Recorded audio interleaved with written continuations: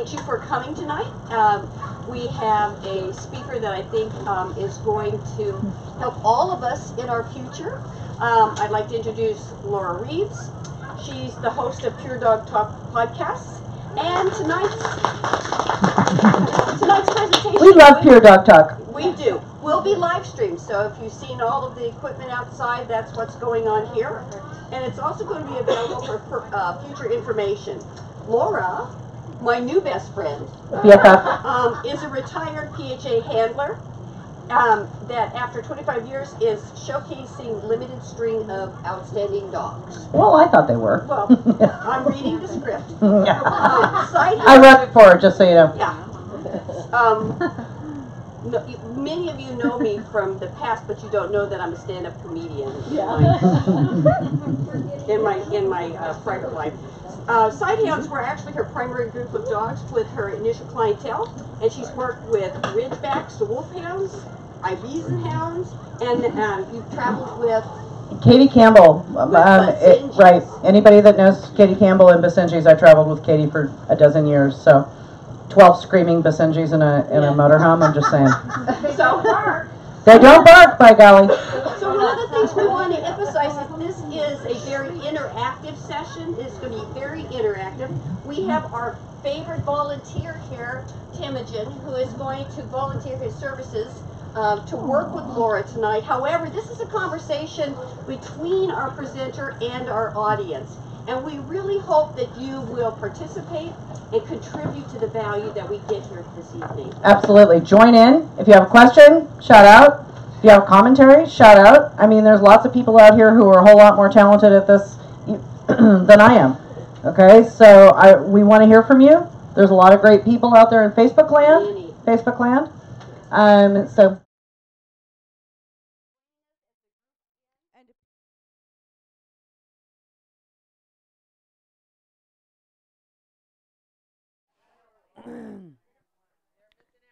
They are miss. They are definitely missing out. I'm here to. I'm here to say there is some wicked good dessert over here. Can everybody hear me? How are we on the mic level? Yes. Excellent. Okay. So here's the thing about showing dogs professionally. We run from Chihuahua to Irish Wolfhound in five minutes on a regular basis. This is normal for me. This isn't normal for you guys, right? So that's not something you have to worry about. You've got your own dog and and that is such an advantage. And i think sometimes getting a lot of static on this i think sometimes owner handlers don't really appreciate what advantage it is.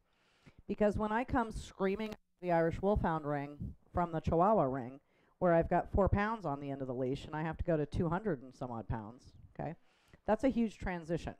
And it's the same for every professional handler.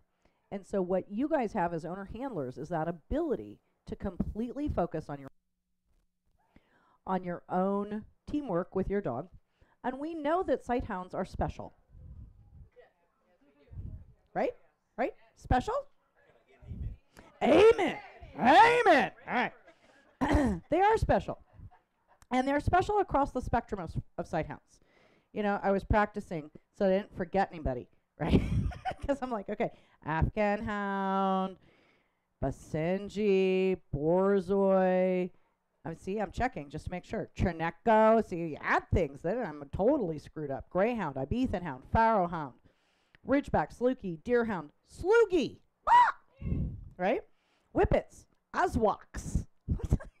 okay, so I didn't say. How did I not say? uh, They're on the list. They're right here. Irish Wolfhounds and Scottish Deerhounds also on the list. I got whippets. I said whippets. Okay, so what I'm saying is even within hounds, right? So we have a pretty good spectrum even within hounds, that have very specific needs. A Ridgeback and a Basenji, you've got to see wrinkle. Okay, I want ears. Borzoi, I don't want ears. right? Okay, so there's very, very specific differences that you guys have within your own breeds and as professional handlers that we should and need to know. But the most important thing I want you to come away with from tonight is to not try and take your Saluki or your Irish Wolfhound and turn it into a Doberman. Okay?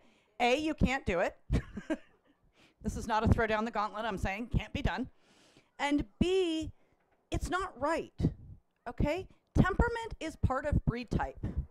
If I have a Saluki that stands up with its ears flying and its tail wagging at the end of a six foot leash while I'm throwing bait at it, that's not a Saluki.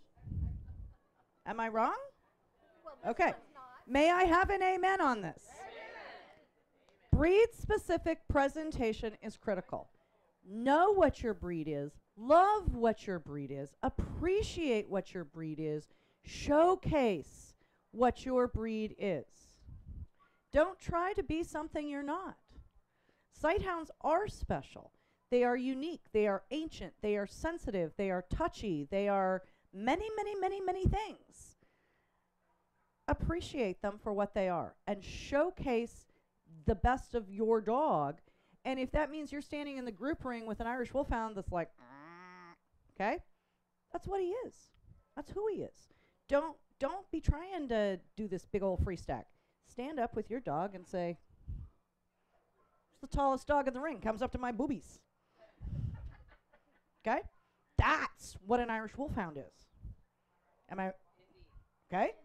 All right, amen. This is like wi- this turning Turning into a prayer meeting. Never mind a conversation, we're having a prayer meeting. okay. So so with that, so with that, we're gonna go and we're gonna talk about some very specific things that you guys can do. You are owner handlers, you are breeders, you are whoever you are working within your specific breeds. Can I get a quick poll? Say so like quick, quick, quick, quick. Um, Salukis, everybody? All Saluki people? Okay, there's these are Borzoi people. Okay. Greyhounds. Okay, good. Whippet. Um, so, and I know I've got extras out there. So we're going to really kind of try and pay attention, but there's some really commonalities between the sight hounds so that when I come from my Chihuahua or my Mastiff to my Whippet, okay? So that's all about how we present ourselves with our dogs. Okay? So, number one, pretty hands. We do a lot of talking with our hands. It's almost like sign language. Yeah? I want to show things to the judge. What do I want to show the judge? I definitely do not want to take my hand, put it back here on its really crappy rear end. right?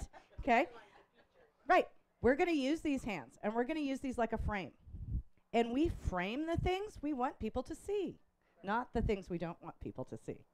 Does that make sense? And we want to frame them in a pretty manner. So when I'm showing a St. Bernard that can put all 200 and some odd pounds of its head in its collar, and I'm going, and it's like a deadlift at the Olympics, that's a really different appearance than when I have my whippet. Right? Okay. So that's very important. What do you say with your hands? How do you use your hands? Pinky swear, right? Or your pinky when you pick up your teacup. Yeah? Okay. So that's all about elegance. Sighthounds, if they are anything, are about elegance. Even an Irish Wolfhound, all of the sighthounds, they are elegance in motion and or standing. Pick one from the largest to the smallest. They are about elegance. And so when we show this breed, we have to be about elegance. We have to give that same presentation. So if we're bobbling with our collar, going, dropping the leash, okay, that's not elegant, is it? Okay. So here, may I? Come here, darling. And so one of the things that I think is so, so, so, so important when we're working with our sight hounds, come here, son. Who is this and why are you touching me? Which is why, good, well done, buddy. Okay, so when we touch our sight hounds, one of the things that we want to be really careful about is that we never take our hands off them, really, right? There's no, come here, son. Here's a good man. Give him your best side, baby. So when you're stacking a dog, okay, first of all, I'm not like choking up on this dog, right? Just gently, hand underneath the collar, very gently. And I'm never really going to take my hand off this dog. This dog, when I go to stack it, this dog's never met me. There you go, son. Good job. And I'm just going to keep my hand on that dog. all the way along. Okay? Boom. One, two, three, four, five. Okay? And there's your presentation. And with your Saluki, or with a lot of your sight hounds, get your head. I know, piss me off. He says, "Get off me," right? And if and if he says, "Don't put your thumb on my nose," don't put your thumb on his nose, man. Right? Don't fight with him about it. You're gonna lose. This is the thing about a sight hound. If you fight with them, you will lose. Guaranteed. They will fling themselves down on the ground and be like, "Eh, done. Over it. Thank you. So, so I think that's really important. Okay, what we say with our hands, where we put our hands, how we put our hands. When you hold the collar, when you hold the chin, everything is gentle. It's about the curves. It's about keeping your hand. If you go and you're like at a sight hound, they're like, "Get off me! What? What? Get get off me! That is just wrong." They don't like that. They don't. They don't like jittery. So if you're nervous, this is one of those places where being nervous is the worst possible thing you can possibly do. Sighthounds are like, weird, weird vibe. I'm out. Okay, right? Am I right? You're right. Okay. So, so here's another amen moment. If you are ever going to be confident in your life, when you do it is in the ring with the sighthound. Because every dog takes their confidence from us. I mean, that's a fact. Every single breed I have ever shown, from Chihuahua to Mastiff, takes their confidence from me. Fact. I have more than I need, so it's okay. You guys can can add some because that's where your dog's going to get it. But sighthounds really need it. They need your confidence. They need your strength. They need your calm. So, what are you there for? You are there for your dog. You are not there for your glory or your ribbons or who you're trying to impress. You're there for your dog. What does your dog need? Give your dog what it needs. It needs your confidence and your focus. Something I learned after I'd been showing for nearly a decade was that it was really stupid for me to be scared going in the ring. Because why am I scared at my hobby? Exactly. Exactly. Her After comment I learned that, I started winning. Right. Her comment, and in case anybody couldn't hear it, and is very, very, very, very on point. It's stupid for me to be scared. This is my hobby. I'm supposed to be here having fun. Okay, guess what, people? This is not world peace. No world peace. It's not real life. It's a game. You're having fun. And you're here having fun with your dog. Okay, I get it. You want to win. We all want to win. But what is the point of making your dog be miserable so that you can take home a ribbon? Make your dog happy and you will take home the ribbon. That's how that works. And it is particularly so in sighthounds. And that is across the board. Pick one, from the littlest to the biggest. Um, so I think that, pardon me, I'm just A, trying to read my script, and B, trying to get the frog out of my throat. script, psh, more like notes.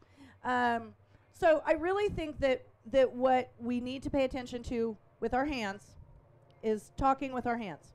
I like to say that we talk with our hands just like we're talking with sign language. Point to your dog's pretty face.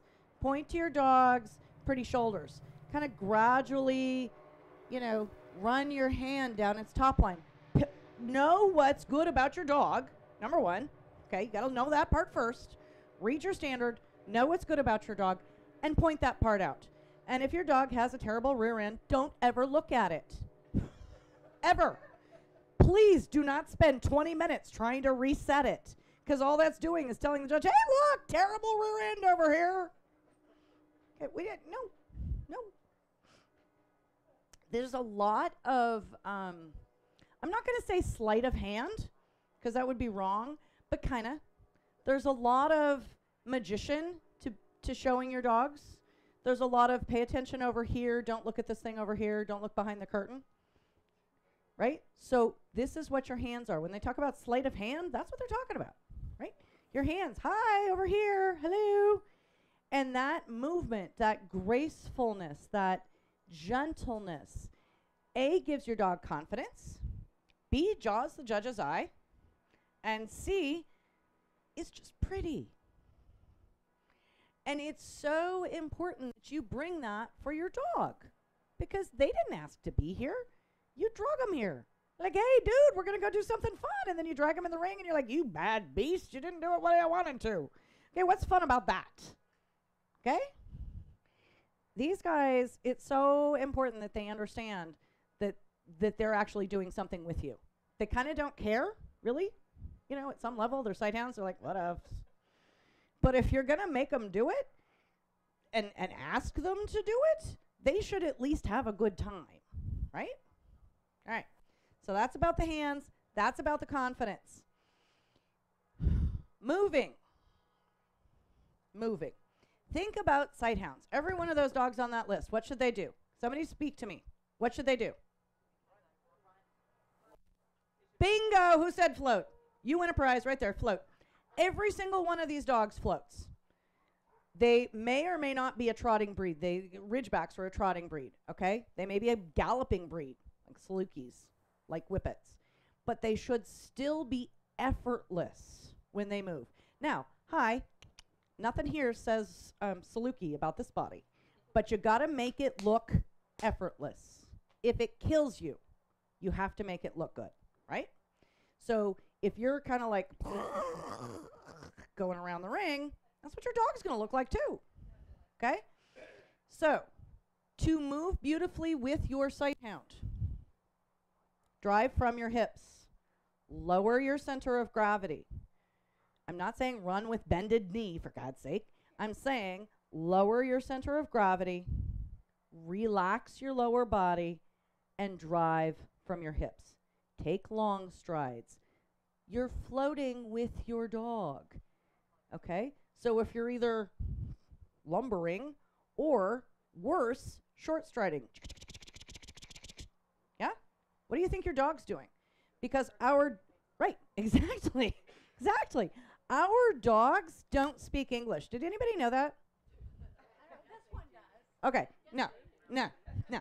They read body language and they read tone. They don't understand run, heel. Don't understand any of that. They understand your body language and your tone of voice. And if your body language is, guess what theirs is? When they're supposed to be. Okay? Anybody here cross country ski? Come on, people, you're killing me. You have desert dogs and you don't cross country ski. I don't understand what that's about. Okay, so. okay, so what I'm saying is, if you've ever watched cross country skiing on TV while you were sitting in your in your Bedouin tent, okay, cross country skiing, that movement, whoosh, whoosh, whoosh, that's a float, yeah, right? Do you understand what I'm saying? You're not lifting your feet all the way up off the ground. You're not making a big pretty pony production, okay? You are lowering your center of gravity.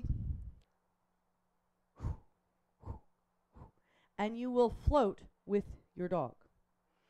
And the more that you are able to float, the more that they are able to float. Super important. They will mimic your stride. If your stride is small, their stride will be small. If your stride is large, their stride will be large. That is a fact. Okay? Very, very, very important on the movement piece. Okay, so the second thing, very important on this one. One, two, three, right? Go. Not, hey, let's run! Ah! Okay? So what happens when you do that? What happens when you like run? What happens? Somebody tell me. Throws the gate off, throws the dog off. They're not collected. Horse people? Come on, there's got to be horse people here. Okay. Collection. We understand collection? Dogs need it too. People need it too. So, in order to get collected movement to actually showcase to the judge what your dog actually can do, you have to get them all together. And if you just go run, they're not together. They're just kind of like, whoa, what happened here? One, two, three, zoop. When you drive a car, when you drive a car, you put your foot on the gas, you go, okay, Phil, not you. I'm saying Phil Allen out there, yeah, he does. But, but, but that is not our goal, man. our goal is proper acceleration. Like, yes. Okay, courtesy turn. You know, personally, I find it a time waster. Kind of depends on the dog. Okay, this is a great question. Courtesy turns. Big dogs, little dogs, all kind of different. So I've got a Rhodesian Ridgeback that paces like a son of a gun. I'm doing a great big giant courtesy turn, clear behind the judge outside the ring, and then I'm like, whee, and I'm lifting him up, and so that by the time I pass the judge's shoulder, the dog's like, you know, trotting instead of like, like like an octopus on speed. Okay, so fine. If I've got a beautifully trained dog that knows how to, P.S. knows how to walk on a leash. Can we talk about train your dogs, people? It's like a whole nother thing. It's like a whole nother seminar. We'd have to have a whole nother seminar to talk about train your dogs. Train them to walk on a leash. I, I, I- I ring stewarded today and I'm like, there's 50 some odd dogs here. I think three of them know how to walk on a leash. Train your dogs.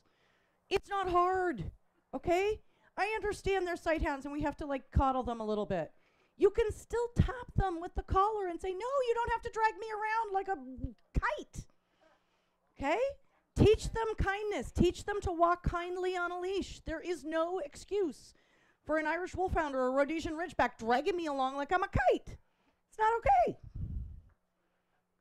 Even I don't care when how old they are. They're eight weeks old. They go on a kennel lead, and you walk them around and you follow them.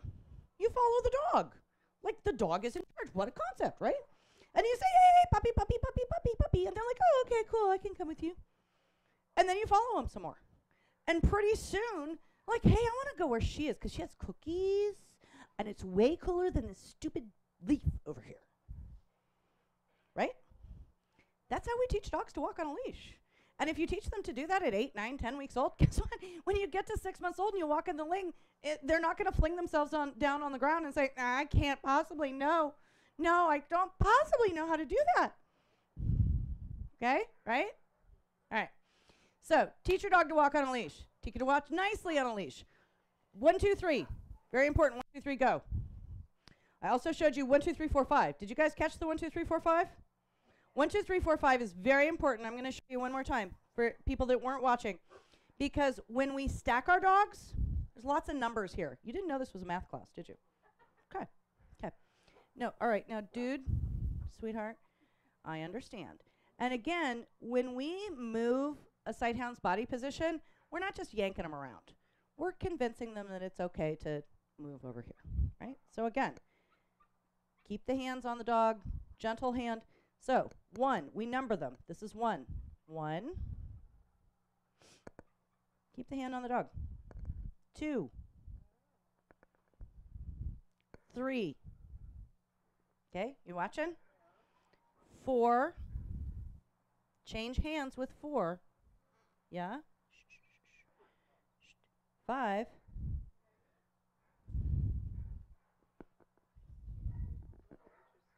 That's five.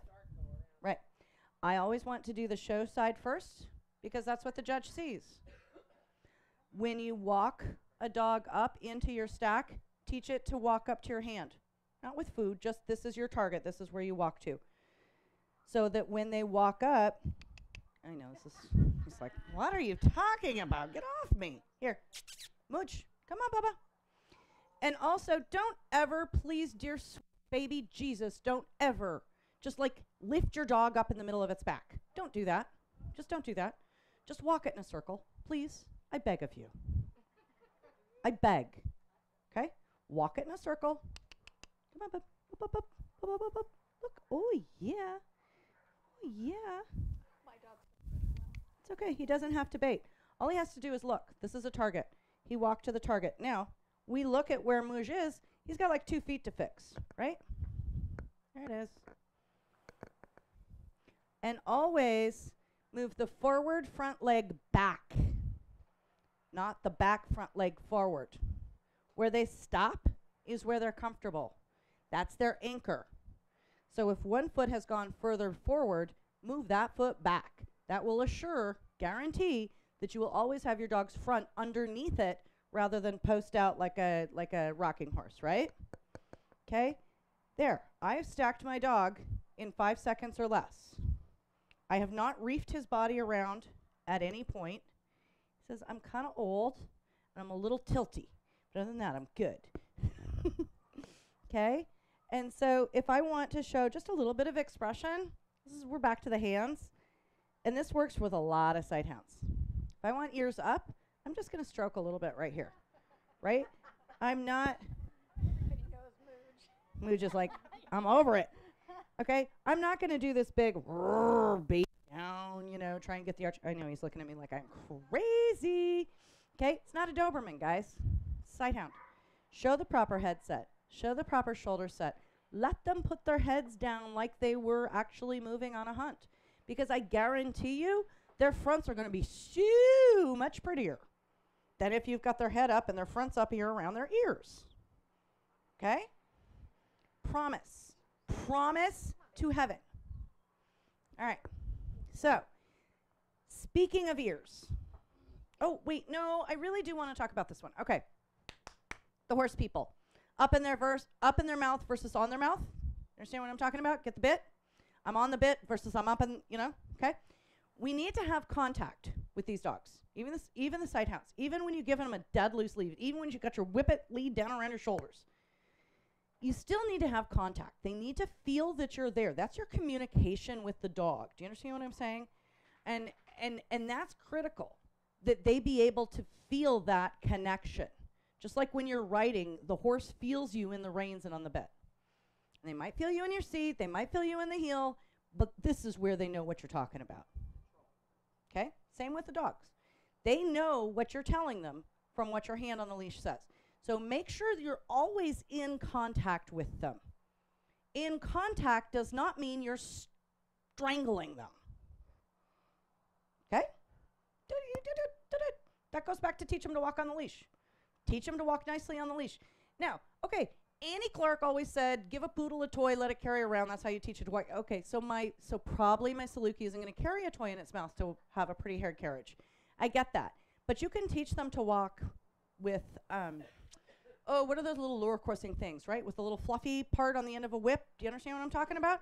You can teach them to do that. Easy. They just need to not be gagging and dragging.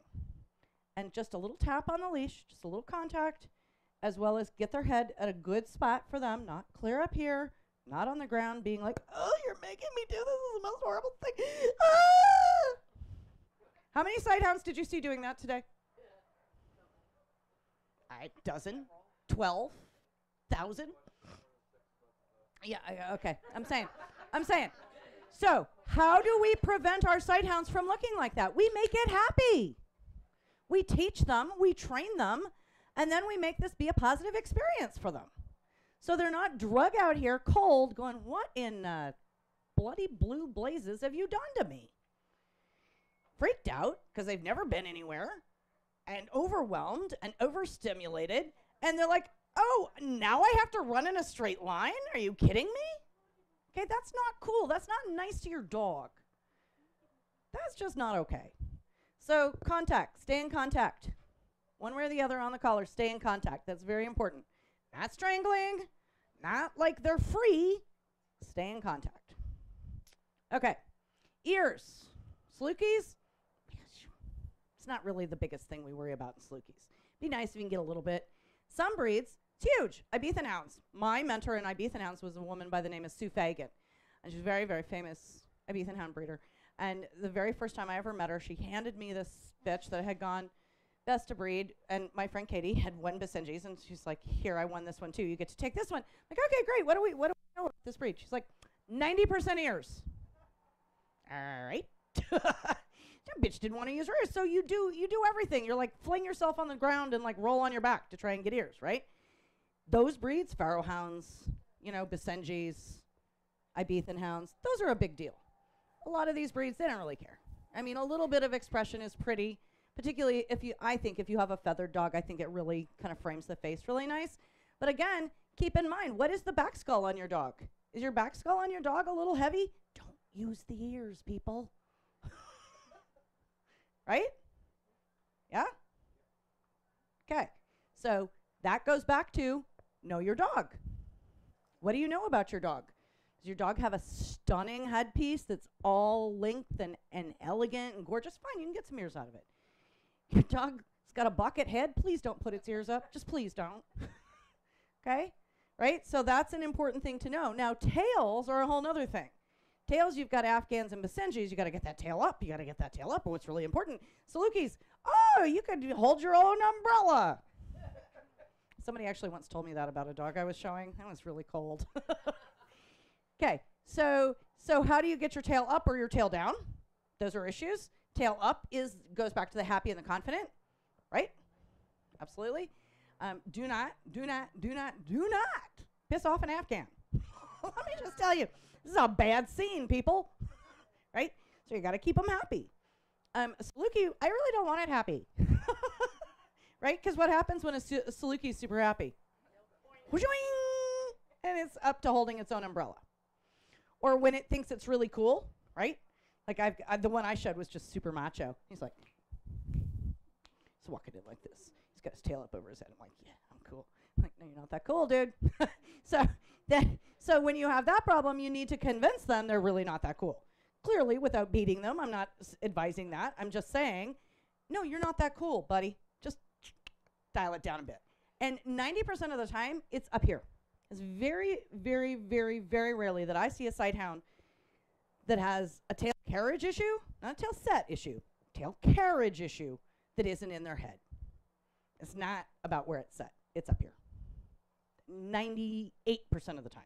It happens. But you don't very often see a whippet or a greyhound or something with their tail set up here. Okay, it's not the tail set, it's the tail carriage. And that is mental. And so, mental Who's in charge of the mental? Hello, do a little happy dance, right? Because now it's in, in your hands. You can control this. So instead of being mad about it and beating them, right? Say, all right, I, I'm in charge. This is, this is in my bailiwick. I can take care of this.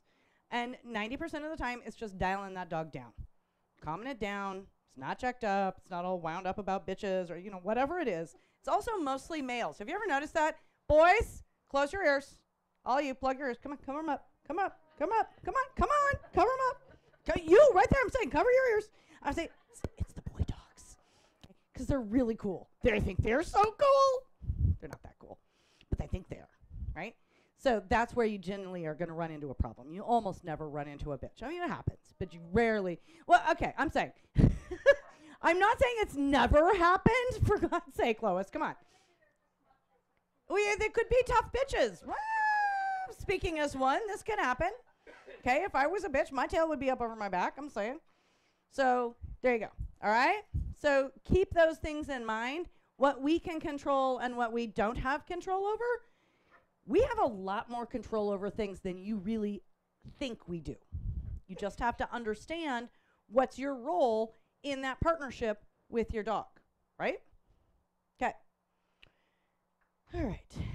Now, here's a big question, and we kind of touched on this a little bit earlier. Can you make a sight hound care about being a show dog?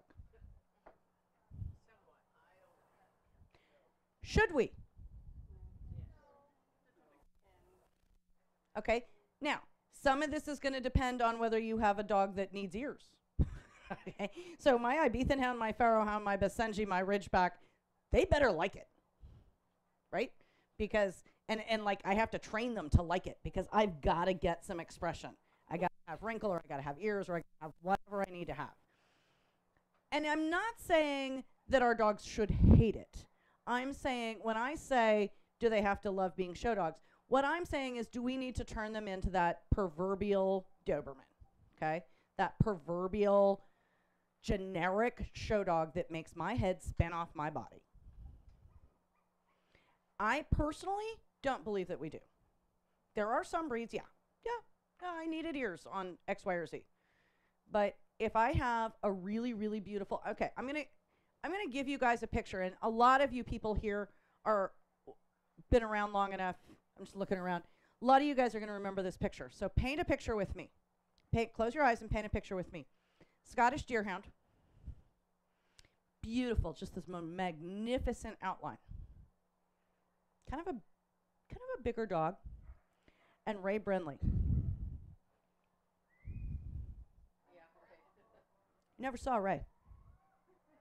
From the other side of the ring, what'd you see? All you saw was the dog. He's got, yeah, he's got the hand up here, right? He's got this leash right here. He's kind of tugging it a little bit. He's got contact, but this is Ray, and he's kind of like, right? He's kind of down here like this. Do you guys remember seeing him? I do. It's exactly what he looked like. This is what Ray's body looked like. You never saw Ray. All you saw was this dog. Okay? So there are ways to be a little bit dramatic or a little bit over dramatic, whatever. Hey, Ray. Um, and and showcase your dog in a way that is best for your dog and for your breed that doesn't involve the holy grail of catching cheese cubes. Okay, can I have an amen? Amen. All right. Because I think that's really important. And I think watching people,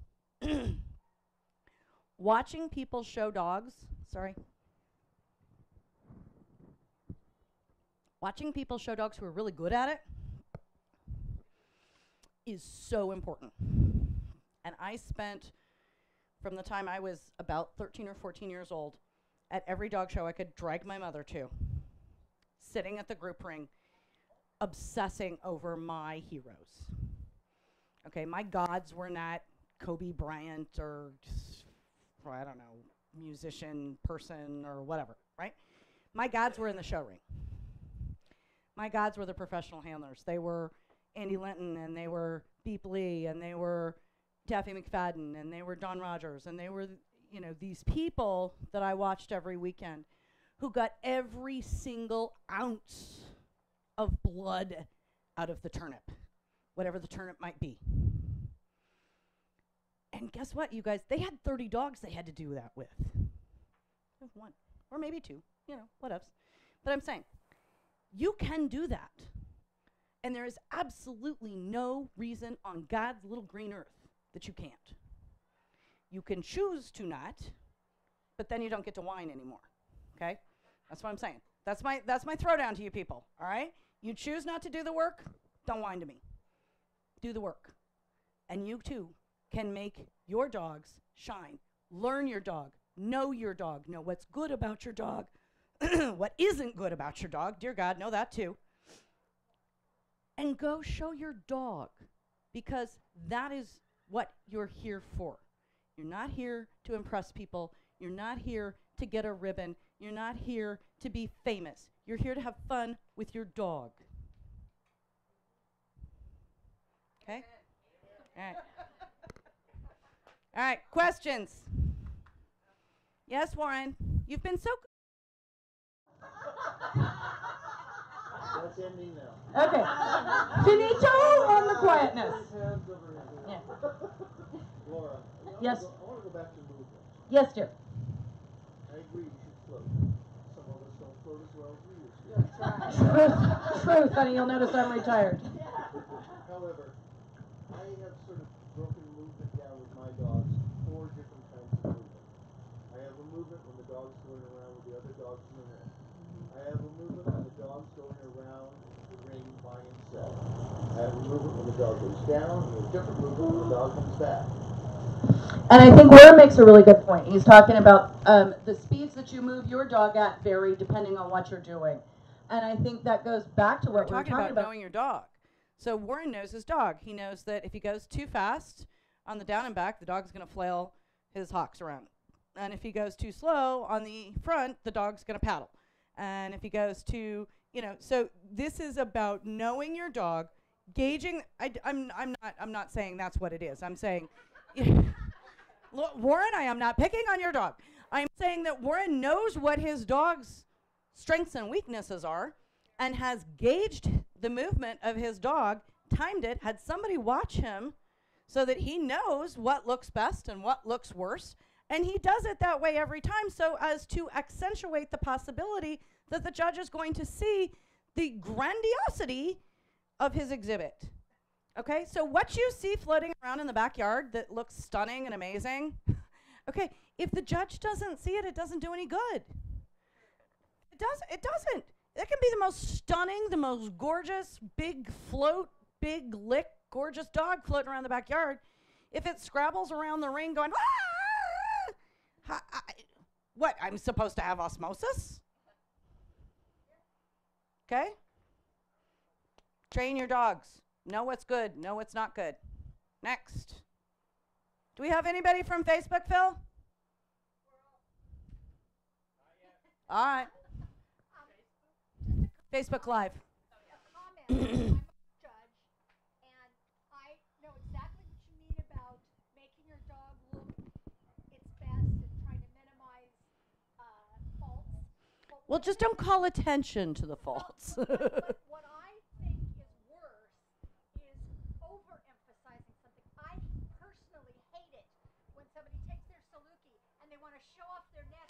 Oh yeah, d- please, please. This is not an English cocker. Okay, this is same. We're going back to the same thing. We're not making our Saluki into an English cocker or a cocker spaniel or an Irish setter. Show your dog correctly for its breed. Show what's beautiful about your dog for its breed.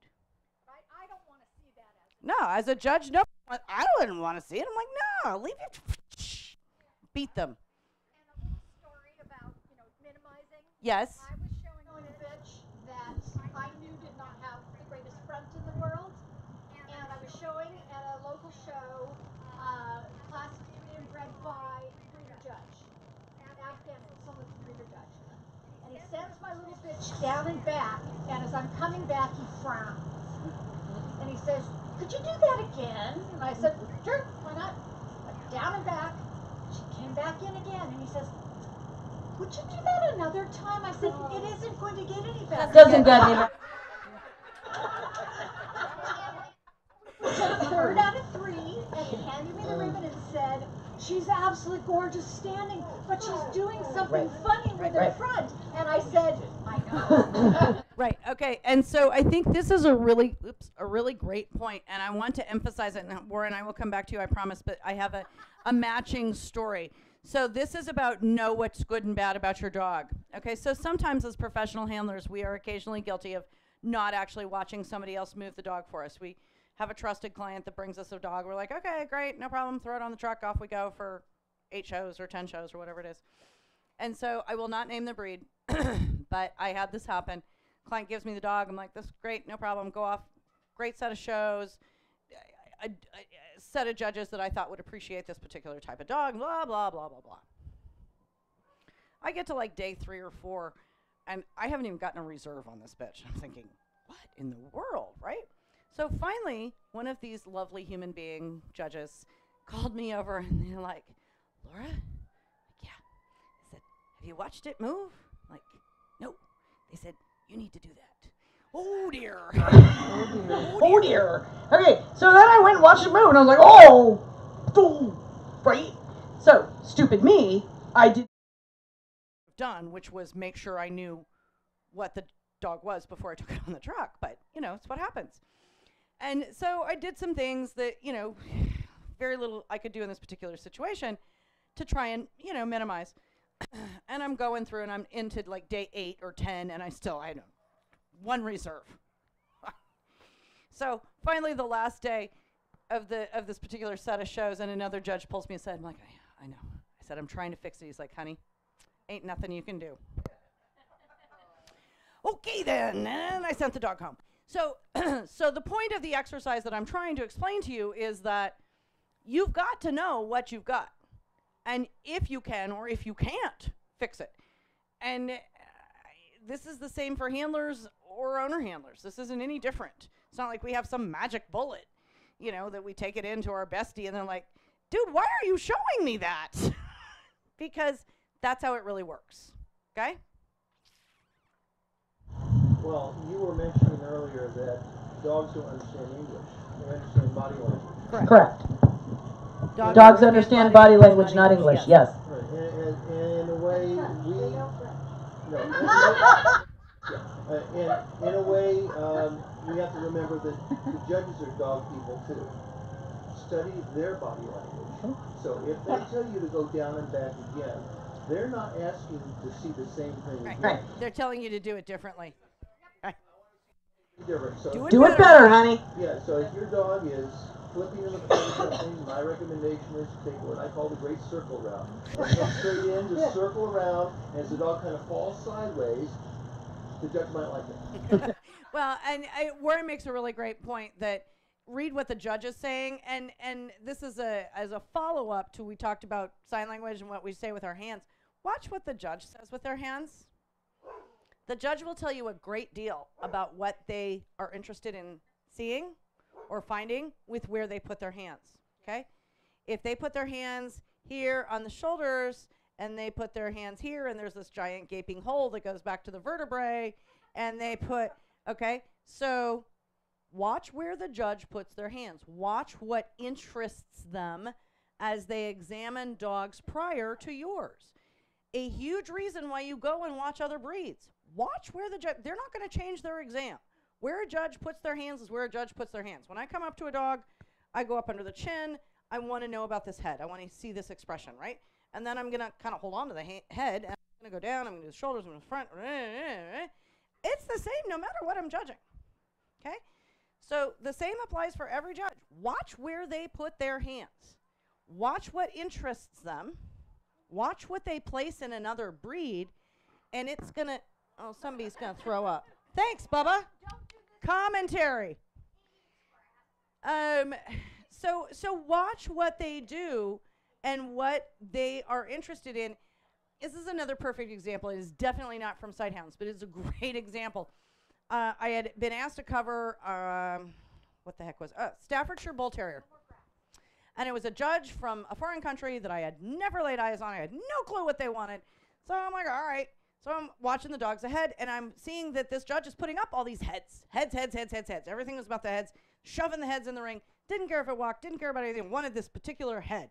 Looking at the dog I got, I'm like, hey, I got this. Okay. So I have paid very careful attention to what everybody else is doing and what's been winning. And I've looked and I've examined my exhibit that I've barely met. And I've said, okay, I feel like this has got, you know, some potential. So I go there and I show the head. I don't care what these back feet are doing. I really don't care because neither does neither does the judge. All he wants to see is this head and expression. I'm like practically lying down in front of the dog, like trying to get some expression because that's all the judge cared about. He went winner's dog. He won the breed from the classes at a huge specialty because I gave the judge what the judge wanted to see. That is easy for anyone to do if you pay attention and if you watch.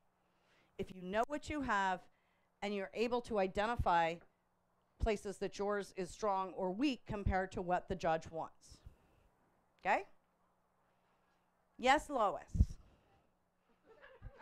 I, I'm gonna say this could be another Warren question. Yes, Lois? An observation. But I've done this almost as long as Warren, and you were talking earlier about breed-specific presentation. Yes. Yes, breed-specific presentation. That that is much less emphasized than it used to be. And, And Lois's Lois's observation observation is this is much less emphasized than it used to be.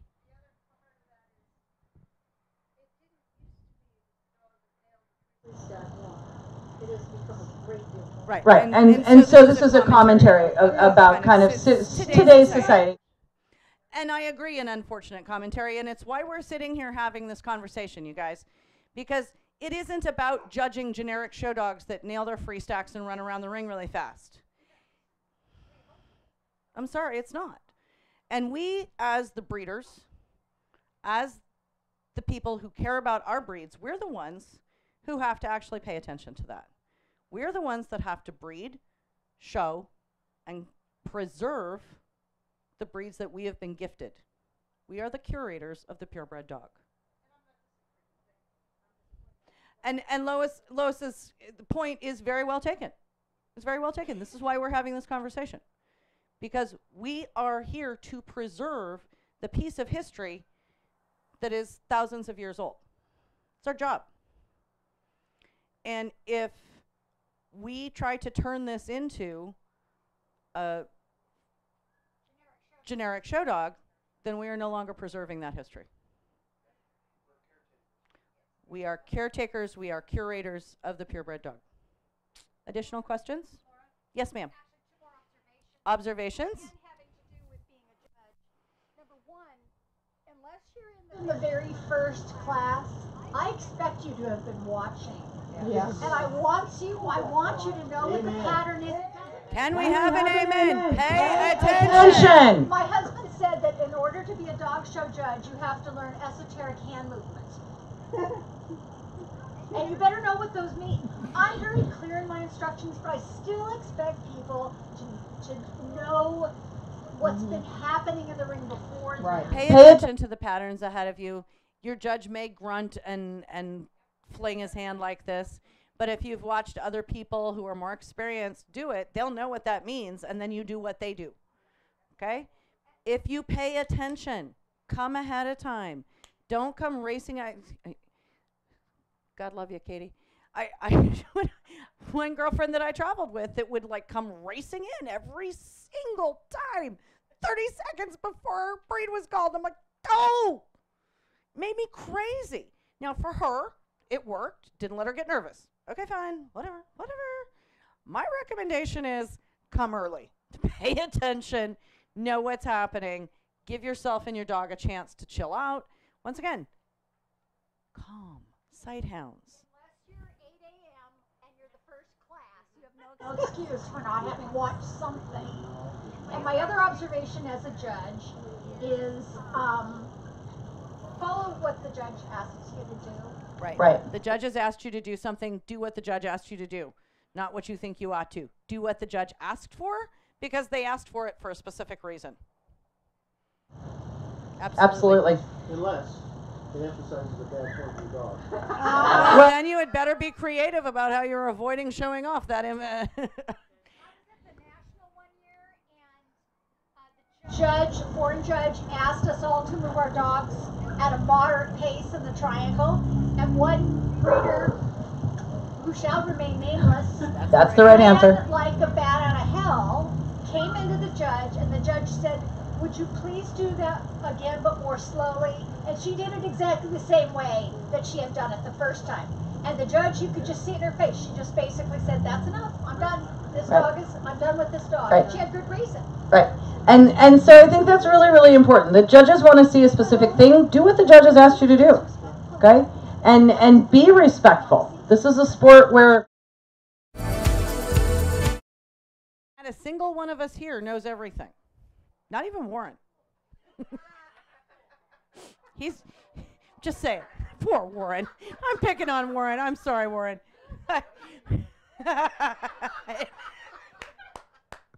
okay, so my point being that okay, if you go in and and you are disrespectful to your judge, you are unliable to be successful with your dog. Is that a polite and politically correct way to say that? In the back. Hang on, Phil. I'll get to Facebook. has to do with down and back. People will take their arms up here, the dog will be wobbling along. Oh my Oh my god. And you're not showing the dog. Ye- unless okay. Okay. that mm-hmm. Right. No, she's making an awesome point, and this is actually in my notes, and I forgot to talk about it. One of the things that sighthound people love to do is run with their arm way up here, really, really, really, really, really, really fast around the ring, like they're about to fall down. Please, just no, no, no, no, no. Stop. Just stop. Stop it. Okay. Stop it. It's not pretty. I know it looks pretty. You think it looks pretty? Doesn't look pretty. Okay, so the down and back. This was the the comment was about the down and back with your hand clear up here. You have no control. What did we just talk about? Contact. Stay in contact with your dog. There is no contact with your dog if you're running with your left hand over your head. Keep your hand down here. Mhm. Right. Right. Right. What the heck are Right. you Right. doing? Right. You Right. Right. Right. That'll be that. Right. Right. So my hands back to hands, right? Don't don't be up here. Keep your hand down here. Keep in contact with your dog. I mean, if you you know, I do raise my hand a little bit more with say a sight hound than I do with say a Saint Bernard. Okay, because I don't need to control quite as much body. I don't need to have quite as much contact. Okay, but the fact is, up here is got no contact. Unless you want to just run around the ring freestyle, stay in contact with your dog. Keep your hand a little bit lower. When you're doing the down and back, I encourage people to keep it attached to your hip. It's a great place height wise. Keep your hand here. Keep your leash short and gathered up in your hand. Stay in contact with your dog on the collar. And then when you go to go around the ring, if you can let a little leash out, let him move out ahead of you just a little bit. Beautiful. Not so beautiful. Yes, Warren. You have a name for that? For that, please, Please let's not have it be someone's name. No, no. Thank you. Thank you. I call it the chainsaw law. The, The chainsaw? Yeah, chainsaw law. Chainsaw law, okay? Using chainsaw, you never have it higher than your shoulder. I like that. That's actually genius, Warren. You just got a gold star, dude. Chainsaw law is when you're using a chainsaw, you never use it higher than your shoulders. Same applies to your leash. Your hand should definitely never be above your shoulder. okay? I like that. I'm dead serious. I'm, I'm totally stealing that.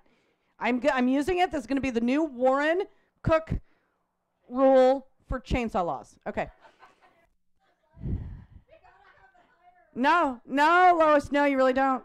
Dude, I'm not tall either. I showed Irish wolfhounds that literally their heads were like, you know. mm. Okay, next. Anybody else? Facebook land.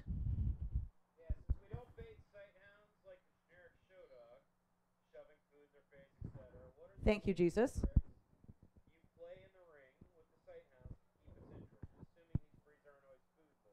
Love this. Love this. Motivational tools that you use in a ring for sighthounds who are frequently not as food motivated.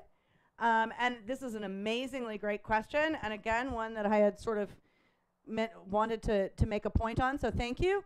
Um, I play games with them. Okay, the one that I showed, I had a best in show pharaoh hound. Okay, thank God the owners were fabulous, and they had taught him every trick in the book. And he shook hands, and he sat, and he downed, and he bowed, and I mean, he did everything. It was a pharaoh hound.